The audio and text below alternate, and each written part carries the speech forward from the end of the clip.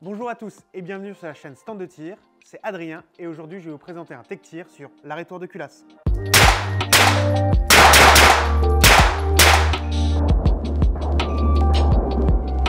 L'arrêtoir de culasse, c'est cette petite pièce qui est ici et cette pièce permet de bloquer la culasse quand votre arme est vide. Quand vous êtes débutant, quand vous êtes novice, on vous accompagne sur le pas de tir, on vous explique les règles de sécurité, la manipulation basique de l'arme, mais on vous explique pas toutes les pièces et tous les boutons qui sont sur l'arme. L'arrêtoir de culasse, on ne vous l'explique pas au début parce que mécaniquement, l'arme est faite pour se bloquer directement en arrière quand vous n'avez plus de munitions et qui vous permettent de faire les manipulations basiques. Mais très rapidement, vous allez voir que par rapport à votre prise en main qui ne sera pas forcément bonne sur l'arme, ou par rapport à des mauvaises munitions, ou par rapport à une mauvaise manipulation de l'arme, votre culasse ne va pas se bloquer en arrière et là, vous allez avoir un problème. Alors fondamentalement, il n'y a pas de problème à ne pas avoir d'arritoire de culasse et que la culasse ne soit pas bloquée en arrière en fin de chargeur.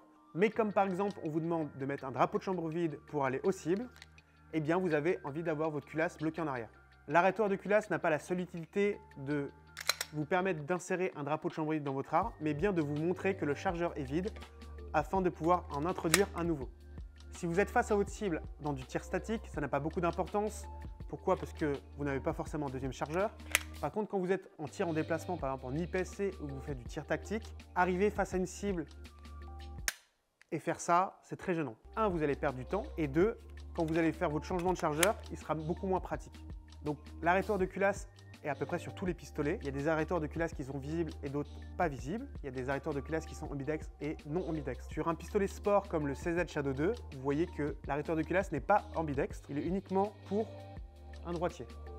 Sur une autre arme comme le HKSFP9 ou HKVP9 aux États-Unis, on peut se rendre compte que l'arrêtoir de culasse est accessible pour un droitier, mais il est aussi accessible pour un gaucher. Et après, vous avez d'autres arrêtoirs de culasse qui ne sont pas d'origine, comme le Kegeworks, où on vous mettra le, texte ou la marque parce que c'est imprononçable, qui euh, fabrique des arrêtoires de culasse rallongés et surdimensionnés pour Glock. L'arrêtoir de culasse fonctionne en partie grâce à un chargeur vide.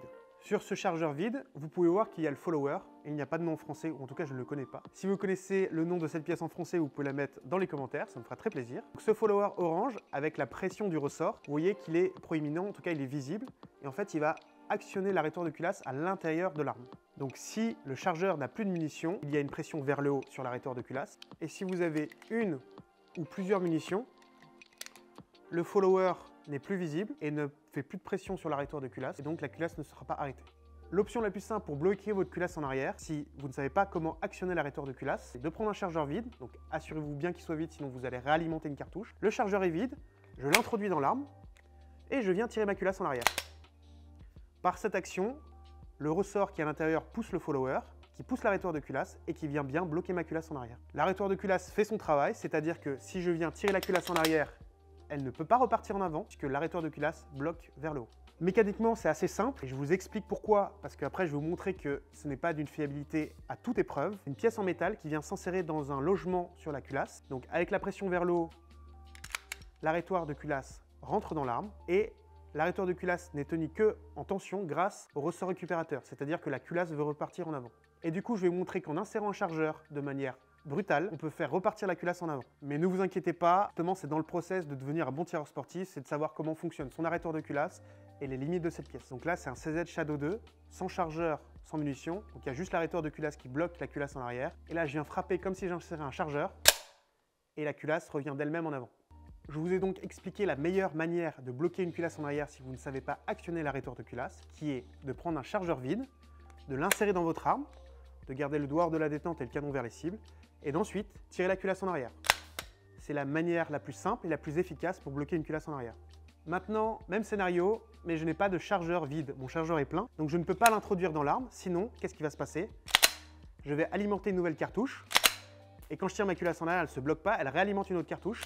Et je devrais faire ça jusqu'à ce que mon chargeur soit vide. Si j'avais inséré 17 cartouches, pendant 17 cartouches, je dois tirer la culasse en arrière, ce qui n'est pas du tout pratique. Il faut alors faire très attention si vous avez des cartouches ou pas. C'est, encore une fois, je le répète, le doigt hors de la détente, le canon vers les cibles. Donc là, je veux tirer ma culasse en arrière. Pour cela, vous avez des de préhension à l'avant ou à l'arrière. Ergonomiquement, il est mieux de mettre sa main, donc la paume de sa main ici, les doigts ici, que ce soit à l'avant ou à l'arrière de l'arme. Si vous êtes à l'arrière de l'arme, vous allez être très proche de l'arrêtoire de culasse. Donc la manipulation avec la main gauche de l'arme peut vous empêcher d'appuyer sur l'arrêteur de culasse avec votre pouce ou avec votre index. Je vais vous montrer les deux méthodes. Donc il est préférable de mettre la main à l'avant. Si vous mettez la main à l'avant, évidemment, faites pas ce que je vais faire, c'est uniquement pour vous montrer, ne passez pas votre main devant le canon. Vous devez faire automatiquement attention que votre main soit bien au-dessus de la culasse et pas devant le canon. À partir de là, sur le Glock Gen 5, ici vous avez l'arrêteur de culasse, vous devez appliquer une pression avec le pouce vers le haut, tout en gardant le doigt hors de la détente. Pourquoi? Parce qu'il est possible de faire ceci. Vous faites ceci, évidemment vous enfreignez une règle de sécurité puisque vous avez votre doigt sur la détente sans que vos organes de visée soient sur la cible et sans que vous soyez prêt à tirer. Donc c'est assez difficile parce que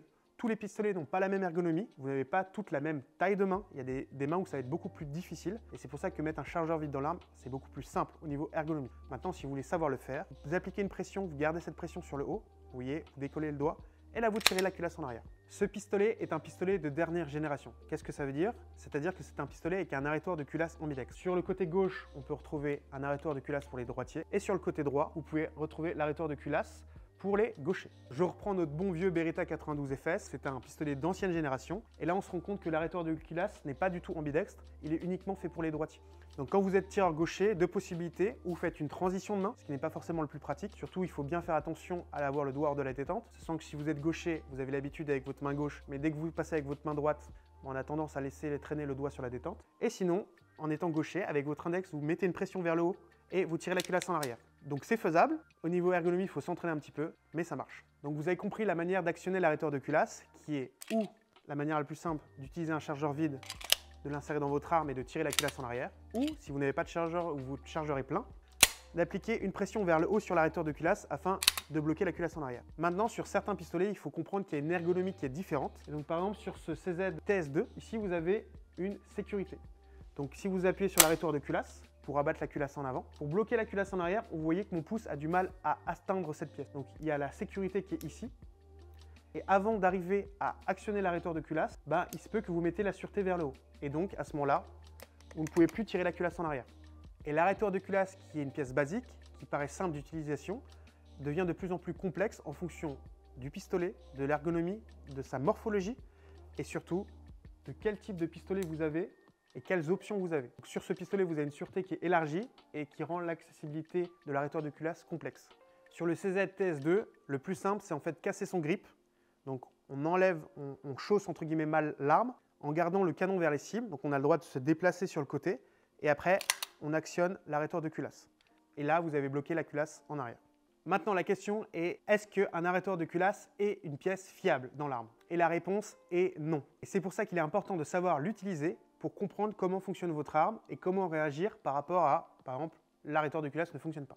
Les deux plus gros problèmes qu'on va avoir par rapport aux débutants, aux novices, aux gens qui ne savent pas comment utiliser l'arrêteur de culasse, la culasse qui ne se bloque pas en arrière, c'est-à-dire que à la fin du chargeur, ils arrivent, ils savent qu'ils ont tiré par exemple 5 cartouches, et là, ils arrivent sur une chambre vide. Déjà, ils ne savent pas comment actionner la culasse pour la bloquer en arrière, et ils ne comprennent pas pourquoi la culasse ne s'est pas bloquée en arrière alors qu'il n'avait plus de munitions. Donc la réponse est assez simple, c'est par rapport à la position du pouce sur l'arme. Donc en fait, vous voyez que l'arrêteur de culasse est assez accessible avec votre pouce de la main droite. Et donc si vous l'actionnez vers le bas, en fait, le follower avec le ressort ne peuvent pas mettre de pression sur cette pièce. Et donc cette pièce ne fait pas son job, c'est-à-dire qu'elle ne bloque pas la culasse en arrière. Et donc, si je tire la culasse en arrière en actionnant mon pouce sur l'arrêteur de culasse, quoi qu'il arrive, même si là j'ai un chargeur vide, la culasse ne peut pas se bloquer en arrière. C'est-à-dire qu'il faudra retravailler la prise en main pour avoir une prise en main qui est assez haute et qui ne touche pas l'arrêteur de culasse et qui permet que l'arrêteur se bloque.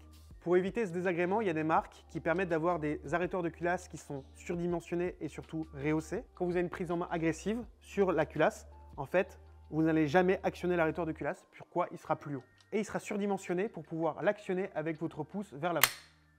Oui, parce qu'aux États-Unis, on appelle l'arrêteur de culasse un slide stop, donc arrêteur de culasse, ça c'est la bonne traduction, ou sinon un slide release, donc ça permet de rabattre la culasse en avant. après avoir bloqué la culasse en arrière, vous introduisez un nouveau chargeur. Et si vous voulez faire rabattre la culasse en avant, vous avez juste à actionner l'arrêteur de culasse vers le bas. Et là, ça devient le bouton pour ramener la culasse vers l'avant. Donc ce problème d'ergonomie se retrouve à peu près sur tous les pistolets. C'est pour ça qu'il est important de travailler votre prise en main sur chaque nouveau pistolet. Si on est sur le HKSF P9, on peut voir que si je pose mon pouce de la main droite, il est pile poil sur l'arrêteur de culasse. C'est vraiment qu'une question de travail par rapport à la main gauche qui vient le plus haut possible ici pour empêcher que la main droite viennent sur l'arrêteur de culasse. En faisant ce travail d'ergonomie ou de placement de, main gauche, eh bien, vous arrivez à supprimer tous les problèmes de positionnement du pouce sur l'arrêteur de culasse. Donc la procédure, si vous arrivez face à votre cible et que vous percutez à vide, donc c'est de savoir s'il y a une munition ou pas. Donc la manipulation de base, c'est de savoir si vous avez bien verrouillé votre chargeur et après vous tirez votre culasse en arrière. Comme ça, vous êtes sûr que l'arrêteur de culasse va faire son travail. Et là, vous devez vérifier s'il y a des munitions ou pas de munitions. Surtout comprendre pourquoi la culasse ne s'est pas bloquée en arrière. Pourquoi l'arrêteur de culasse n'a pas fait son job. Une des problématiques, comme on l'a expliqué, c'est le pouce sur l'arrêteur de culasse. Et donc après, vous pourrez réinsérer un chargeur et appuyer sur l'arrêteur de culasse pour remettre la culasse en avant. Mais vous pouvez aussi, si votre chargeur est plein, tirer la culasse en arrière qui va rabattre la culasse en avant. L'autre problème avec l'arrêteur de culasse, pas la fonction d'arrêteur de culasse, mais c'est la fonction de bloquer la culasse en arrière quand vous introduisez un nouveau chargeur. Donc là, je ne vais pas mettre de chargeur pour pas mettre de munitions, mais on va simuler comme quoi je mets un chargeur. Donc là, l'arrêteur de culasse, comme je vous l'ai expliqué, n'est tenu que par la tension du ressort récupérateur. Quand vous allez introduire un nouveau chargeur plein, il n'y a plus la tension du follower sur l'arrêteur de culasse. Et donc la seule chose, c'est que si vous mettez une force vers le haut, avec la vibration, ça va décrocher l'arrêteur de culasse. Je m'explique, j'introduis mon chargeur, je tape, et la culasse repart en avant. Pour un débutant, c'est assez compliqué de comprendre ça. C'est est-ce qu'il a fait quelque chose de mal ou pas? Donc vous n'avez rien fait de mal, vous avez juste tapé le chargeur, ça a introduit une nouvelle cartouche dans la chambre et là vous êtes prêt à tirer. Et si vous voulez pas que ça vous arrive, c'est-à-dire que quand vous introduisez le chargeur, la culasse ne part pas en avant, tout simplement, il faut mettre le chargeur tout doucement dans l'arme. Donc là, il n'y a pas de munitions, c'est juste pour simuler tout doucement dans l'arme et pas venir le taper violemment. Le venir le taper violemment, ça va vous aider puisque si vous avez un chargeur plein de 17 cartouches, il est assez lourd et si vous venez l'introduire dans l'arme et que vous ne le tapez pas, ça va pas le verrouiller. Vous allez avoir une cartouche qui va partir et après le chargeur peut déverrouiller. Et d'où l'intérêt d'avoir un chargeur et de venir le taper pour le verrouiller, c'est d'être sûr qu'il est bien introduit. Mais évidemment, vous avez le risque que l'arrêteur de culasse ne fasse pas son job et que la culasse reparte toute seule en avant. C'était un tech tir sur l'arrêteur de culasse. L'arrêteur de culasse, n'est pas une pièce primordiale. Pourquoi? Parce que vous avez toujours la possibilité, si vous ne savez pas l'actionner, de mettre un chargeur vide, de tirer la culasse en arrière. Mais si vous avez envie de savoir comment ça fonctionne, vous avez juste besoin de presser vers le haut, de mettre une pression sur l'arrêteur de culasse et tirer votre culasse en arrière. C'était Adrien de la chaîne Stand de tir. Je vous invite à liker cette vidéo, à la commenter et surtout à la partager. Et je vous dis à bientôt pour une nouvelle vidéo.